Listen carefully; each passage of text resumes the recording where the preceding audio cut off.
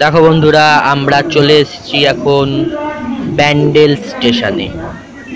ব্যান্ডেল স্টেশনে আসতে হলে হাওড়া থেকে হাওড়া কাটোয়া লোকাল কিংবা হাওড়া বর্ধমান লোকাল ধরে সোজা Bandel.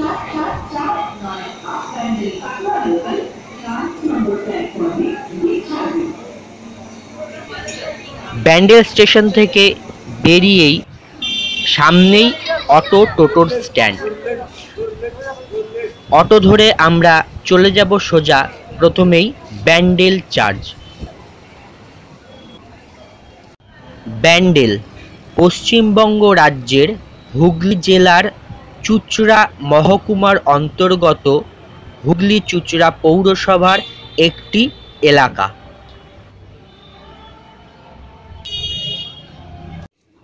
Hello friend welcome back to my channel entertain Bangla আশা করি তোমরা সবাই ভালো আছো। আমিও খুব ভালো আছি। দেখো, আমি আর দাদা আজকে এসছি হচ্ছে ব্যান্ডেল চার্চ তো চলো, এবার তাহলে চার্চটা ঘুরে দেখা যাক। তোমরা আমাদের সাথে থাকো, দেখতে থাকো ব্যান্ডেল চার্চ ব্যান্ডেল গির্জা বা ব্যান্ডেল চার্চ। পশ্চিমবঙ্গের প্রাচীনতম খ্রিস্টান গির্জাগুলির একটি। এই গির্জার পোশাকি নাম the basilica of the holy rosary Bandel.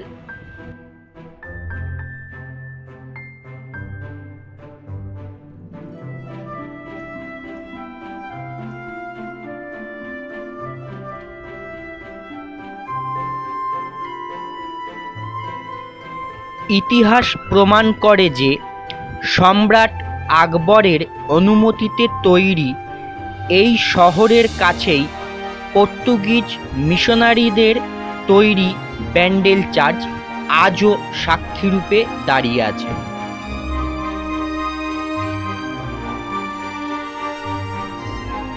পনেরোশো উনআশি খ্রিস্টাব্দে পর্তুগিজরা হুগলি নদীর তীরে একটি বন্দর ও দুর্গ নির্মাণ করে। এবং আগাস্টানিয়া ফ্রেয়ারদের একটি দলের সার্ভিস তালিকাভুক্ত করে। এই দলটি ছিল গোয়ার বৃহত্তম ধর্মীয় সংস্থা। পরের বছর ক্যাপ্টেন পেদ্রো তাভারেস সর্বসমক্ষে ক্যাথলিক ধর্মপ্রচার ও গির্জা নির্মাণ করার জন্য সম্রাটের অনুমতি লাভ করেন। এরপর পনেরোশো নিরানব্বই খ্রিস্টাব্দে ব্যান্ডেল চার্চ নির্মিত হয়। প্রতিদিন হাজার হাজার তীর্থযাত্রীর উপস্থিতি। পুণ্যময়ী কুমারী মারিয়ার মূর্তি দর্শন, এক ঐতিহাসিক অলৌকিক ঘটনার নিদর্শন। শতাব্দীর পর শতাব্দী, মারিয়ার মাধ্যমে ঈশ্বরের কৃপা পেয়ে আসছেন সহস্র মানুষ। বিশ্বাসপূর্ণ অন্তরের প্রার্থনা, তাদের বাসনা প্রভু ঈশ্বর পূর্ণ করছেন। আজ এই মন্দির সাক্ষ্য দিচ্ছে সুদূর অতীতের ভাঙাগড়া হাসি কান্নার ইতিহাস।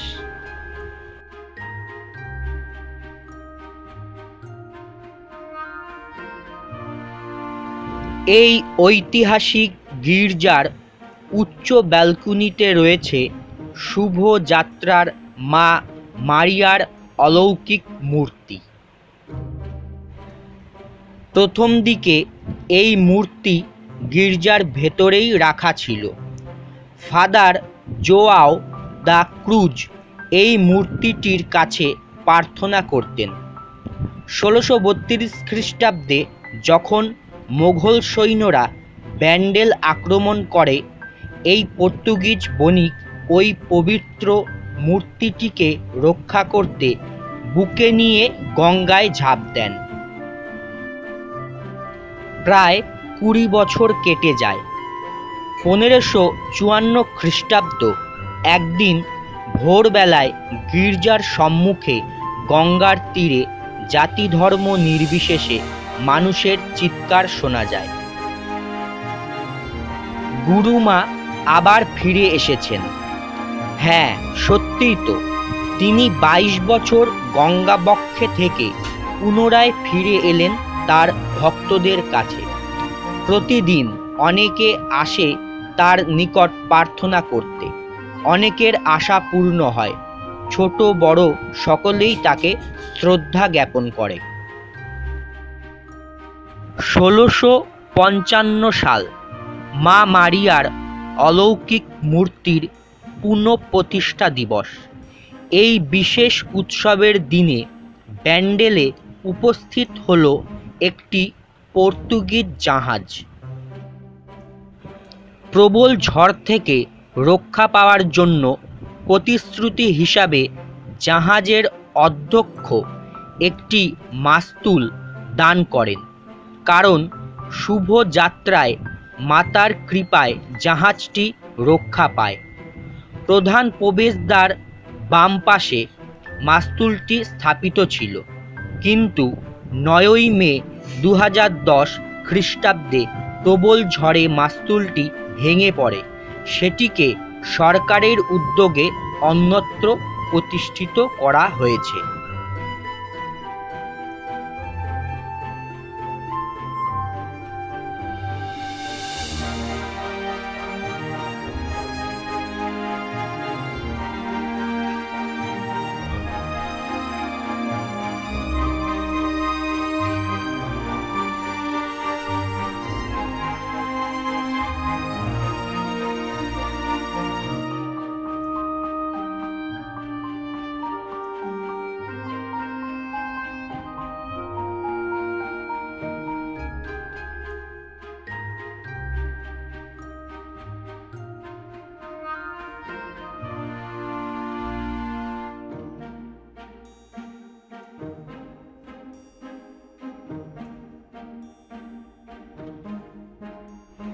গির্জাটি সুন্দর করে গাছপালা দিয়ে সাজানো।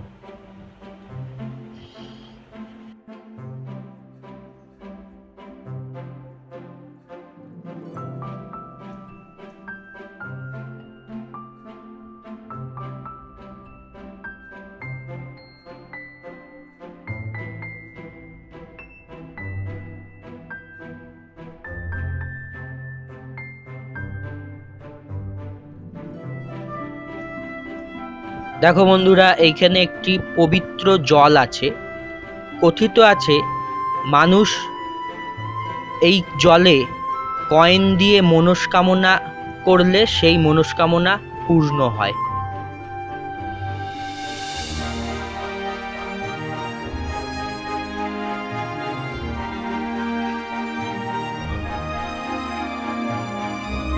দেখো বন্ধুরা, এই হচ্ছে সেই জাহাজের মাস্তুল। যেটি আজও পর্যন্ত সুরক্ষিতভাবে এই কক্ষে রাখা রয়েছে। ব্যান্ডেল শব্দের মানে জানা আছে কি? না, ইংরেজি নয়। পর্তুগিজ ভাষায় ব্যান্ডেল শব্দের অর্থ হল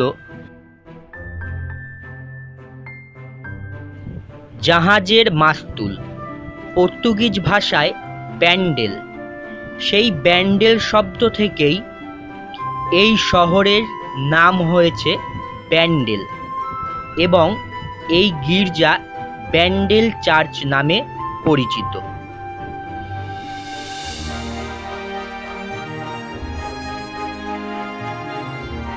এই ব্যান্ডেল চার্চ প্রতিদিন সকাল আটটার থেকে বিকেল পাঁচটা পর্যন্ত দর্শনার্থীদের দর্শনের জন্য খোলা থাকে।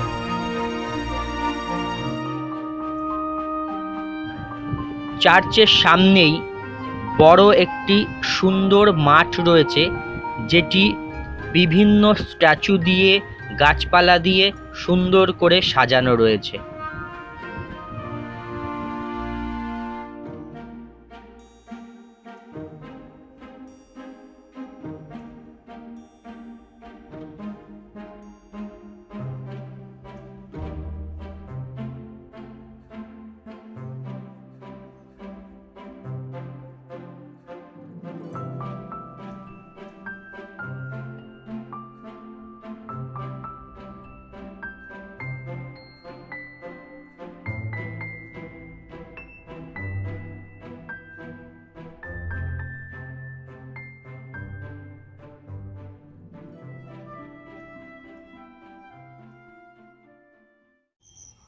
দেখো বন্ধুরা, আমরা এখন চলে এসেছি হচ্ছে শরৎচন্দ্র চট্টোপাধ্যায়ের পৈতৃক ভিটে বাড়িতে।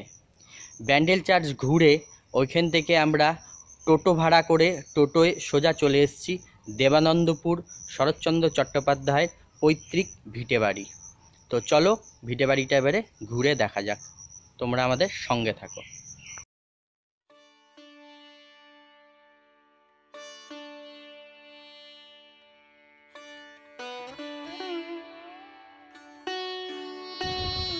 হুগলি জেলার অন্তর্গত দেবানন্দপুর গ্রামে বাংলার বারোশো তিরাশি সালে একতিরিশে ভাদ্র, ইংরেজির আঠেরোশো ছিয়াত্তর খ্রিস্টাব্দে পনেরোই সেপ্টেম্বর আধুনিক বাংলা সাহিত্যের অন্যতম শ্রেষ্ঠ কথা সাহিত্যিক বাংলা সাহিত্যের অপরাজেয় কথাশিল্পী শরৎচন্দ্র চট্টোপাধ্যায়ের জন্ম হয়।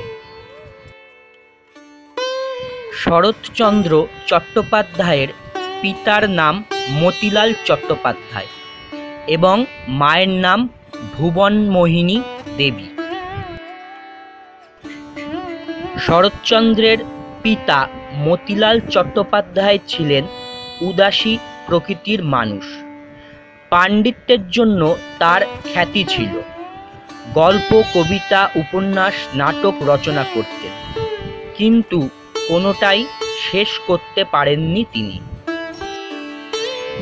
আর্থিক অবস্থা খারাপ থাকায় শরৎচন্দ্র বিহারের ভাগলপুরের মামার বাড়ি মানুষ হন।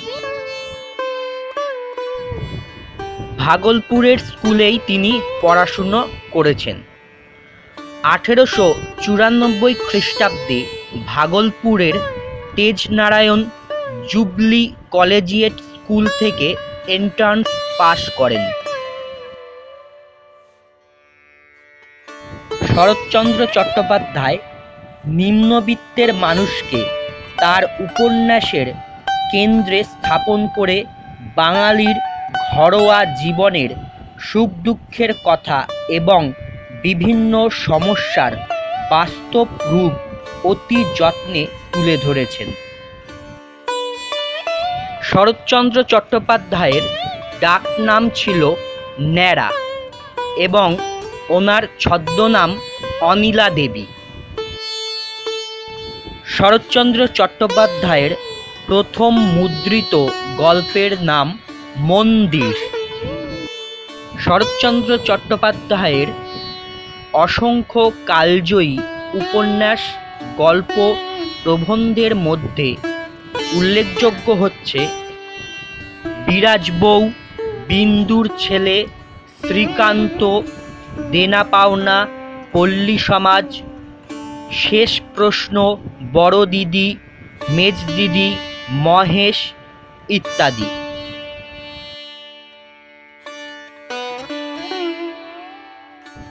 এইটি হচ্ছে শরৎচন্দ্র চট্টোপাধ্যায় স্মৃতি মন্দির। উনিশশো তেইশ খ্রিস্টাব্দে কলকাতা বিশ্ববিদ্যালয় শরৎচন্দ্র চট্টোপাধ্যায়কে জগত্তারিণী পদক দিয়ে সম্মানিত করে এবং উনিশশো ছত্রিশ খ্রিস্টাব্দে ঢাকা বিশ্ববিদ্যালয় থেকে তিনি ডি লিট উপাধি পান। উনিশশো চৌত্রিশ খ্রিস্টাব্দে বঙ্গীয় সাহিত্যের পরিষদের সদস্য হন তিনি।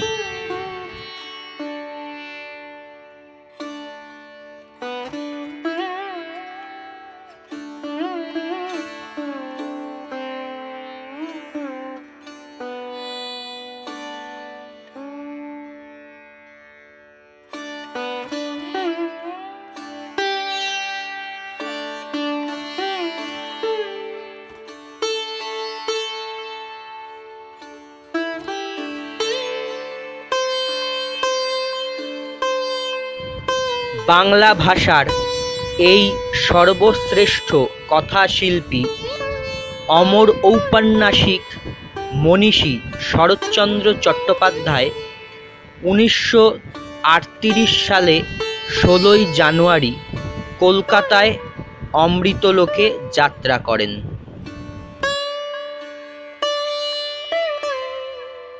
দেখো বন্ধুরা, আমরা এসছি বিশালাক্ষী মন্দিরে। এই সেই বিখ্যাত বিশালাক্ষী মন্দির, যেই মন্দিরের উল্লেখ আছে শরৎচন্দ্র চট্টোপাধ্যায়ের লেখা গল্প মেজদিদিতে।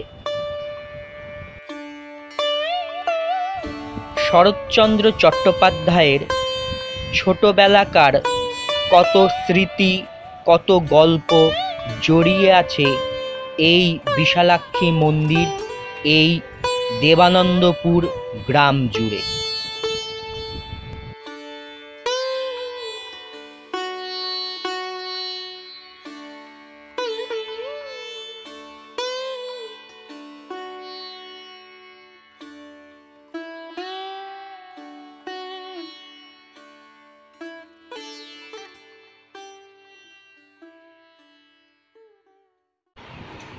দেখো বন্ধুরা পথে যেতে যেতে এই বিশাল এক বজরংবলীর মূর্তি চোখে পড়ল। তাই চলে এলাম মূর্তিটির কাছে। স্থানীয় লোকের মুখ থেকে শুনতে পারলাম যে মূর্তিটি বত্রিশ হাত উঁচু। এই মূর্তিটি বিশালাক্ষী মন্দিরের পাশেই একটি জায়গায় প্রতিষ্ঠিত।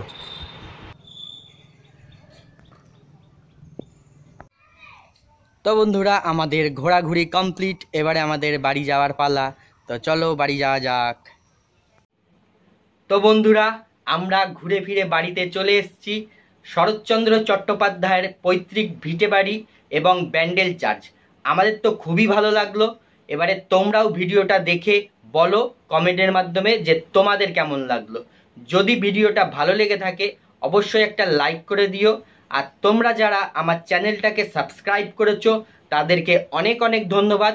আর যারা এখনও সাবস্ক্রাইব করনি, তারা প্লিজ আমার চ্যানেলটাকে সাবস্ক্রাইব করে নাও, আমার সঙ্গে থাকো, আমাকে এগিয়ে যেতে সাহায্য করো। তো ভিডিওটা আজকের মতন এখানেই শেষ করছি। সবাই ভালো থেকো, সুস্থ থেকো, হাসি খুশি থেকো। দেখা হচ্ছে নেক্সট ভিডিওতে টাটা!